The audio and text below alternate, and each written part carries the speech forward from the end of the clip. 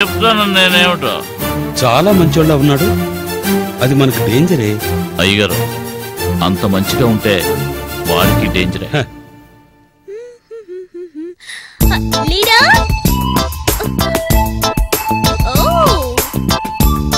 ఓహో leader. Union leader. Mister union leader. నువ్వా? నా చెల్లెలు ఇంట్లో లేదు. నువ్వు బయటికి పో. నీ చెల్లెలు ఇంట్లో లేదని నాకు తెలుసు. అందుకే వచ్చాను. ఏ నేను నేను చేయను. మీ చెల్లెలు ఎంత బిజీగా ఉందో నీకు చూపించడానికే వచ్చాను. ఏం చేస్తుంది? రా తొందరగా రా. ఒక అబ్బాయి జీవితంలో ఎందరో అమ్మాయిలు తారసపడతారు. కానీ ప్రేమ అనేది ఒక అమ్మాయి మీదే కలుగుతుంది. ఎవరు? తనే ప్రియురాలు. భార్యకి ప్రియురాలికి ఉన్న తేడా ఏంటి? ఒక మనిషి ఎందరినైనా ప్రేమించవచ్చు కానీ తను ప్రేమించిన ప్రియురాలే తన అర్ధాంగైతే అంతకంటే ఆనందమేముంది? అంటే అందరూ ప్రేమించి పెళ్ళి చేసుకుంటున్నారా? ప్రేమించి పెళ్ళి చేసుకునే వాళ్ళు ఉన్నారు. పెళ్ళైన తర్వాత భార్యని ఎంతో ప్రేమించే వాళ్ళు కూడా ఉన్నారు. ఏదో విధంగా అందరూ లవ్లో పడతారు. నీ చెల్లెలికి మాట్లాడడం నేర్పించావు చదువుకోవడం నేర్పించావు వంట చేయడం నేర్పించావు ప్రేమించడం నేర్పించావా? ఎవరు నేర్పించకుండా తానుగా వచ్చేదే ప్రేమ. దీనికి మాత్రమే ప్రపంచంలో టీచరే లేడు. నేను ఎన్నో విధాలుగా చెప్పి చూశాను. అటు చూడు నీ తర్వాత పుట్టింది ఎంతో చక్కగా వివరంగా తెలుసుకుంటోంది. ఇంతకీ మనం పెళ్ళెప్పుడు చేసుకుందాం? మా అన్నయ్య అంగీకారంతో. మీ అన్నయ్య ఒప్పుకోకపోతే? పెళ్ళి చేసుకోను. అయితే నేను చేసుకోను. రాజా. చూసే ప్రతి అమ్మాయిని ప్రేమిస్తున్నాను పెళ్ళి చేసుకుంటానని నమ్మించేవాణ్ణి నేను కాను. నేను ధనవంతుల బిడ్డను కాబట్టి నన్ను పెళ్ళి చేసుకుందుకు ఎందరో ముందుకు రావచ్చు. కానీ మనస్ఫూర్తిగా ప్రేమించేది నిన్ను మాత్రమే.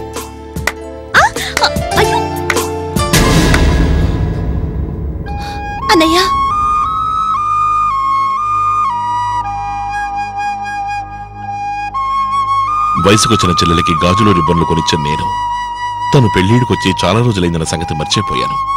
అందుకని కట్టుకునేవాడిని తనే వెతుక్కుంది. సార్. వద్దు. మీరు మాట్లాడింది విని మీ గురించి తెలుసుకున్నాను. ఈ పేదంటి పిల్లని చేసుకోవడానికి మీ వాళ్ళు ఒప్పుకుంటే నా చెల్లెలు ఎంతో అదృష్టవంతురాలు. అన్నయ్య. నువ్వొకటి ఆశపడితే దాన్ని తల తాకట్టు పెట్టిన తెచ్చిచ్చాను. ఇప్పుడు నువ్వు ఆశపడిన దాన్ని ఎలా ఇవ్వబోతానో నాకే తెలియట్లేదు. మీకు మీ చెల్ల ఎలా ప్రాణ సమానమో అదే విధంగా మా నాన్నకి నా మీద పచ్చ ప్రాణం. ఖచ్చితంగా ఆయన ఎందుకు ఒప్పుకుంటారు? మీ నాన్నగారెవరు?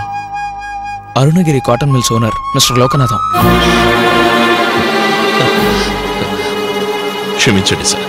ఒక కార్మికుడి ఇంటి పిల్లని చేసుకోవడానికి మీ నాన్న ఒప్పుకున్నా ఒక యూనియన్ లీడర్ చెల్లెని చేసుకోవడానికి ఆయన ఒప్పుకోరు. రామ్మ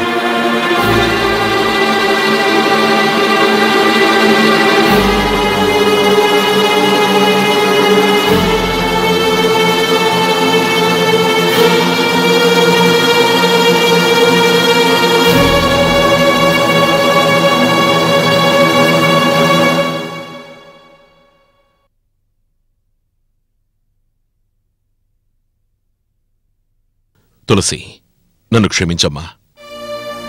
నువ్వెందుకు నీ క్షమాపణ అడగడం? నేను ఏది చేసినా నీకు చెప్పే చేస్తాను? ఇది మాత్రమే చెప్పకుండా చేశాను? నేనే నిన్ను క్షమాపణ అడగాలి? నువ్వేం దిగులు పడకమ్మా. ఇంతకంటే మంచి పెళ్ళి కొడుకుని నీకిచ్చి పెళ్ళి జరిపిస్తాను. వాడు ఎంత ధనవంతుడైనా సరే ఎవరి కొడుకైనా సరే నీ అందానికి తెలివికి తగ్గట్టు ఒక మంచి పెళ్ళి కొడుకు చూసి నీకు పెళ్ళి చేయటం ఈ అన్నయ్య బాధ్యతమ్మా.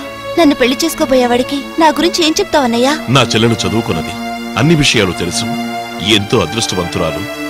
అందర్నీ గౌరవించే వ్యక్తి. ఆడంబర లోకంలో అణుకుగా జీవించడం తెలుసు. దేనికి ఆశపడదు. ఎవరిని మోసం చేయదు. అబద్ధం చెప్పదు. పెళ్ళి కొడుకు ఇవన్నీ చెప్తానంటున్నావే? నా చెల్లెలు ఇంతకు ముందే ఇంకొకరిని ప్రేమించిందని చెప్తావా? తులసి. ఎవరిని మోసం చేయదు అబద్ధాలు చెప్పదని. నువ్వేగా చెప్పా? అలా అబద్ధాలు చెప్పి ఇంకొకరిని పెళ్ళి చేసుకోమని. ఈ అన్నయ్య చెప్తే నేను అలాగే చేసుకుంటాను. నేను తెలియక చేసిన ఒకే ఒక్క తప్పు. నీ యజమాని కొడుకును లవ్ చేయడమే. అది నీకు నచ్చలేదని తెలియగానే వదిలేశానా? కానీ మర్చిపోలేదు.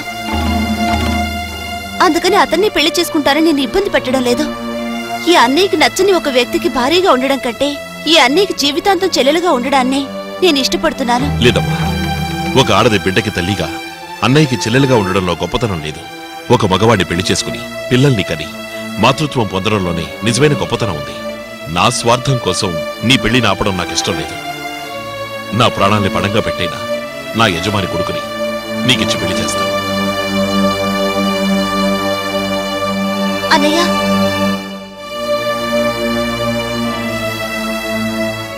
నువ్వు కోరుకునే అమ్మాయిని పెళ్ళి చేసుకుంటాను అన్నప్పుడు నేనెందుకు అడ్డుపడతాను?